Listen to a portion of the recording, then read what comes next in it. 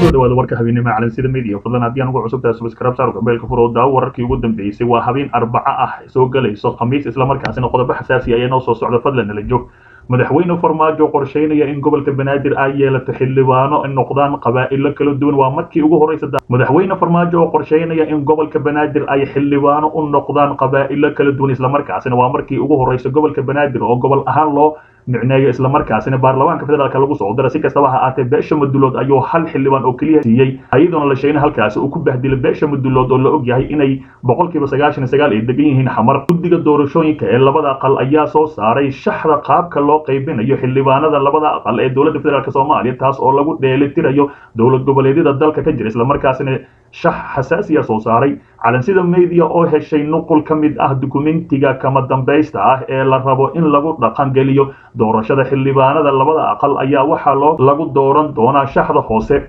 Kow puntland aqalka hoose puntland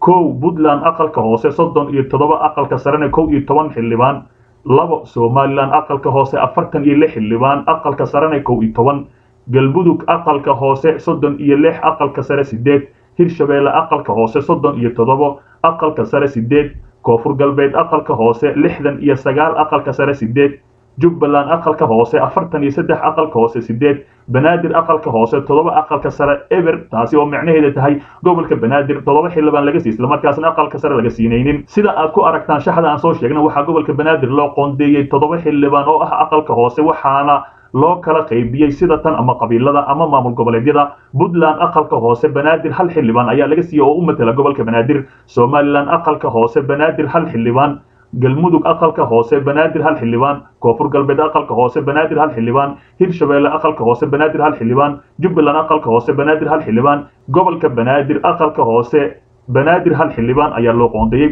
Wadarta guud ee xildhibaanada ka soo galaya gobolka banaadir waa toddoba xildhibaan taas oo loo qaybiyey beelaha hoos ku xusan islamarkaasina sida tan. Kow majeerteen aqalka hoose banaadir hal xildhibaan puntland isaaq aqalka hoose banaadir hal xildhibaan somalilan mariixaan aqalka hoose banaadir hal xildhibaan galmudug abgaal aqalka hoose banaadir hal xildhibaan hirshabeelle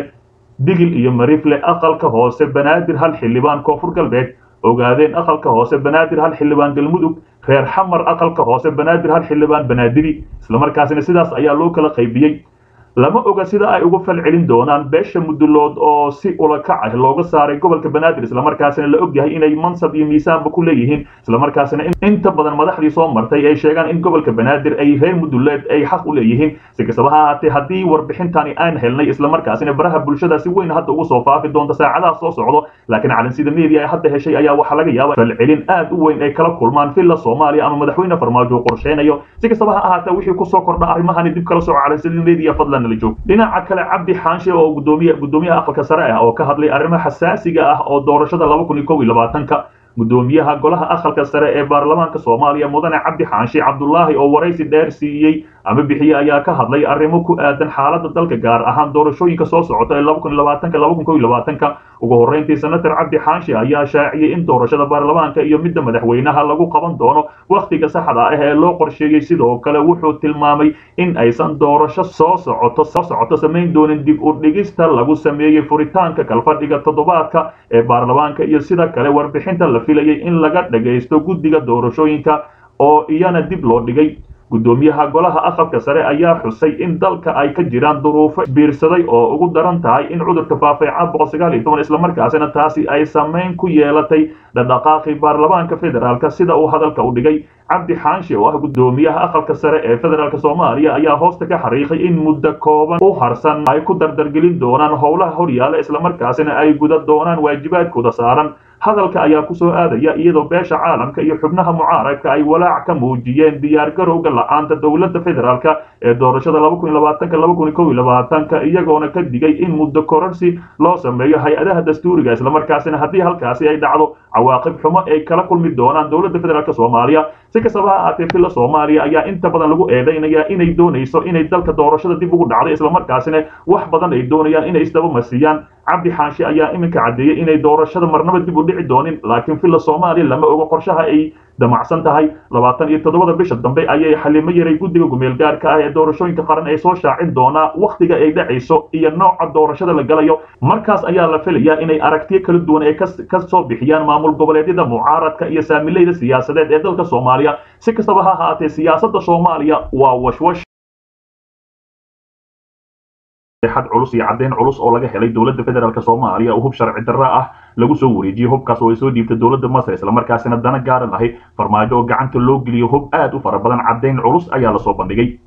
dowladda masar ayaa shixnad hubaha ugu deeqday dowladda farmaajo taas oo ay ugu tala gashay ama ay ugu gol leeyihiin in ay ku soo dhowaystaan maamulka farmaajo villa soomaaliya maadaama uu dagaal dhanka biyaha webiga niil uu kala dhexeeyo dowladda etoobiya etoobiyana ay dowladda federaalk soomaaliya ku milmitay islamarkaasina ay doonayso in xeebaha badda ee soomaaliya ay degto halkaasina ay kala dagaasho dowladda masar oo iyadana soo degtay badaha dalkaasi kenya hubka ayaa dowladda soomaaliya lagu wareejiyey bartamihii bishii februaayo ee sanadkan aynu ku jirno laba kun iyo iyadoo soomaaliya ay saaran tahay cunaqabataynta hubka ee golaha jamciyadda qaramada midoobay ee u saartay soomaaliya islamarkaasina mamnuuc ay tahay dowladdii lagu arkaane tallaabo sharciga laga qaadayo soomaaliya ayaa dhexda ka gelaysa dagaalka u dhexeeya etoobiya iyo masar iyadoo la wada og yahay in kumanaan ka tirsan ciidanka etoobiya la soo geliyo gudaha soomaaliya si sharci darro ahi etoobiya ay u qabsato magaalada xeebeedka ee kismaayo kadib markii ay kenya iyo masar ay kala saxiixdeen heshiis is-afgarad ahi taas oo ciidamada cirka iyo kuwa badda ee masar looga ogolaanayo in ay isticmaalaan hawada iyo biyaha kenya islamarkaasina xadka soomaaliyala leh. Etoobiya ayaa ku haminaysa in ay qabsato magaalada kismaayo si ay halkaasi ugala dagaalanto ciidamada masar ee ku sugan biyaha dalkaasi kenya ama badda kenya islamarkaasina xadkala leh soomaaliya halkaasina oo loolankooda u yahay sida ku cad warqad lagu amray wasiirka gaashaandhigga ee soomaaliya waxaa lagu wargelinayay in hubkaani aan la iibin karin iyadoo oo aanan ogolaasho laga haynin dowladda masar islamarkaasina halkaasi hubkaasi lagu haayo. Waxaa sidoo kale su'aalo badan laga keenay tan iyo markii ay dowladda federaalka heshay hoobiyaal ay ugu deeqday dowladda masar. Waxaa batay hoobiyaasha lagu garaaco xerada xalane mar walba oo ay dowladda farmaajo iyo beesha caalamka is-afdhaafaan taasi ayaa meesha ka saartay febraayo kadib ayayna ahayd markii beesha caalamka ay in badan ay canaanatay villa soomaaliya islamarkaasina canaanta kadib hoobiyaal lagu garaacay. Waxaa calansida meediya loo xaqiijiyey in hubka lagu xareeyey xarunta nisa ee habarqadiija waana midda keentay shakiga laga muujiyey isku xirnaashaha hoobiyaasha lagu tuuro xalane iyo hay'adda nisa islamarkaasina hoobiyaasha dowladda federaalk soomaaliya lagu deeqay. Hubka dowladda federaalk soomaaliya lagu deeqay ayaa waxaa u badan hoobiyaal aad u fara badan islamarkaasina waxaa caddaatay hoobiyaashaasi lagu garaaca xalane islamarkaasina febraayo markii lagu deeqay dowladda federaalk soomaaliya hoobiyaashaasi ayaa waxaa batay in beesha caalamka mar kasta ay villa soomaaliya canaanato islamarkaasina hoobiyaasha lagu garaacay. Si kastaba ha ahaatee warqadda shaashada ka muuqata ayaa ah caddeyn islamarkaasina sagaal iyo labaatankii bishii labaad ee febraayo lagu wareejiyey. Hubkaasi oo aad u kala duwan sidaad ku aragtaan kun iyo laba boqol ayaa waxaa lagu wareejiyey a k forty seven b k m ka mashiinka ee midyamka ah shan iyo labaatan ayaa lagu wareejiyey sidoo kale waa ay badan yihiin sidaad waraaqada ku aragtaan. Dhinaca kale ciidanka etoobiya oo qarax culus lagula eegta bay islamarkaasina wararkii ugu dambeeyey ayaa ka soo baxaya. Faahfaahino dheeraada ayaa ka soo baxaya qaraxyo nooca miinada ah oo ciidamada ka tirsan kuwa etoobiya ee qeybaha ka howlgala amisom ee soomaaliya lagula eegtay. Qeybo ka mid ah gobolka bay islamarkaasina khasaare la gaarsiiyey aan si rasmiya loo shaacin qaraxyada oo ahaa kuwa isxigxigay ayaa waxaa lala eegtay kolonyo ay la socdeen ciidamada oo ka soo baxay degmada bardaale kuna sii jeeday khansax dheere. Ma cadda khasaaraha ciidamada etoobiya ka soo gaaray weeraradaasi qaraxyada ah ee lala eegtay balse dadka deegaanka ayaa sheegaya inay maqlayeen jugta miinooyinkaasi culus islamarkaasina inta badan la xaqiiji karin khasaaraha rasmiga ahi. Dhinaca kale war ka soo baxay ururka al-shabaab ayaa waxaa looga hadlay weeraradaasi iyadoo qoraalka lagu sheegay in qaraxyadaasi ay ku gubeen mid ka mid ahi gaadiidka ay wateen ciidamadaasi xilli ay marayeen duleedka degmada bardaale ee gobolkaasi bay ilaa iyo hadda ma jirto wax rasmi ah oo ka soo baxay taliska ciidamada gaarka ah ee ciidamada etoobiya iyo sidoo kale maamulka koonfur galbeed ee soomaaliya. Inta badan dagaalyahanada xarakada al-shabaab ayaa weeraro jidgal ah ku qaada ciidamada dowladda iyo kuwa amisom ee ka howlgala gobolkaasi bay iyo bakool islamarkaasina khasaaraha ayaa inta badan ay qariyaan. Dhinaca kale haweenay kufsi badan geysatay oo laga musaafurinayo dalkeeda hooye islamarkaasina adduunka ayaa la yaabay haweenay da'ah islamarkaasina carruur badan kufsatay. Haweenaydan u dhalatay dalkaasi israa'iil ayaa la soo taagay maxkamad ku taalla magaalada jerusalem. Waxa ayna haweenaydaasi wajahaysaa dacwado la xiriira in ay kufsi u geysatay in ka badan toddobaatan iyo afar carruur ahi. Maxkamadda la soo taagay malka oo konton iyo afar sano jir ahi ayaa xaqiijisay in haweenaydani kufsiga carruurta lagu eedeeyey in aysan qabin cudurka dhimirka. Oo horey loogu shakiyey inay qabto islamarkaasina maxkamadda la soo taagay garsooraha maxkamadda ku taalla magaalada jerusalem ayaa sheegtay in dhammaan la raacay talooyinka ama fikradaha khubarada caafimaadka ay ka hor sheegeen maxkamadda horteeda inta aan la ridin xukunka. Maxkamadda ayaa ogolaatay in haweenaydan laga musaafuriyo israa'iil lana geeyo dalka australia oo dembiga ay ku gashay. Waxa ayna haweenaydan maamulo ka ahayd iskuul ku yaalla magaalada melbourne. Garsooraha ayaa dhegaysiga dacwadda ka dhigay labaatan iyo labada juulay laba